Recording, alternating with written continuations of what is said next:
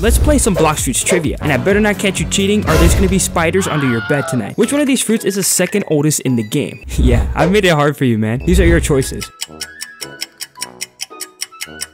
Well, Bomb came out with the release of the game when it was still called Blox Piece. But what about Dragon? Dragon was Blox Fruit's Christmas present in 2020, so nope, that's not it. That means it's between Paw and Rumble. So make your guess, and are you ready? Paw came in update 7, meaning that Rumble is the second oldest in the game from this list. It came in update 3. Hit the like button if you guessed it.